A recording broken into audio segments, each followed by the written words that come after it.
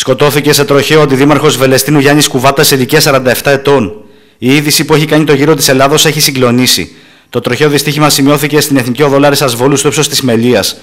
Το τροχαίο έγινε κάτω από διευκρίνηστε συνθήκες. Το φορτηγό που μετέφερε φρούτα βγήκε εκτός πορείας με συνέπεια το θανάσιμο τραυματισμό του οδηγού.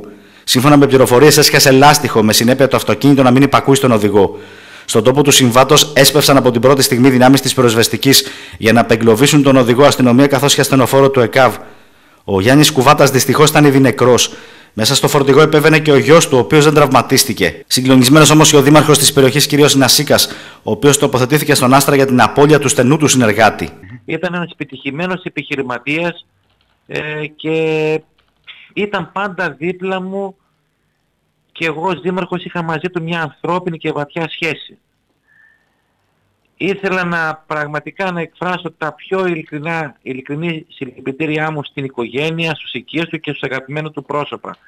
Και στα αγαπημένα του προσωπα Και από την πρώτη στιγμή που ανέλαβε τα καθήκοντά του ως αντιδήμαρχος οικονομικών επέδειξε υπευθυνότητα και ιδιαίτερη επιμέλεια στα κέρια ζητήματα που απασχολούσαν το Δήμο μας από το δικό του μετερίζει. Ήταν πραγματικά άδικο, ήταν ευνίδια απώλεια. Θα το ευχόμαστε καλό ταξίδι στον Αντιδήμαρχο, καλό ταξίδι στο φίλο μας Γιάννη.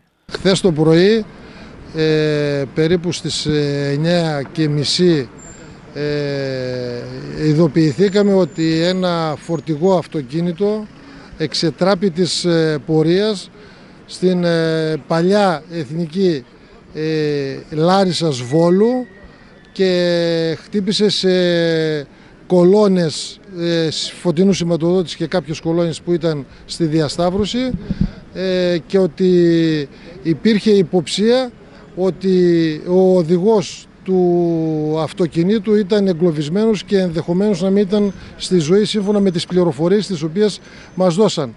Αμέσως έσπευσαν δύο σταθμοί, κινητή μονάδα από τη Λάρισα και ασθενοφόρο όχημα με διασώστες. Το τελευταίο αντίο αναμένεται πάντως να πούν αύριο Τρίτη στις 12 το μεσημέρι συγγενείς φίλοι και συνεργάτες στον αντιδήμαρχο Ρίγα Φερίου και επιχειρηματία Γιάννη Κουβάτα.